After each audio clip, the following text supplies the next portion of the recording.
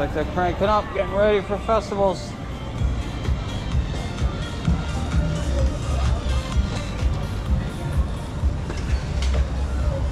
We'll see if we can get some close-up coverage of what might be the best tasting singular item I've, of food I've ever had in Boston. Not the best restaurant. That's a separate discussion.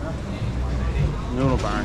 But anyways, um, the rice balls. These, this one guy's stand. We'll see if we can retrieve it. And you got to get down and try and find try one yourself. He makes these rice balls. There's a beef one, and then I think the other one just has like the spinach and stuff. Un- unbelievable, unbelievable. We'll find it. This is just the beginning. It's just a little tune-up. Friday afternoon. They're just getting set up. And this is just one little section. It'll be all over the north end.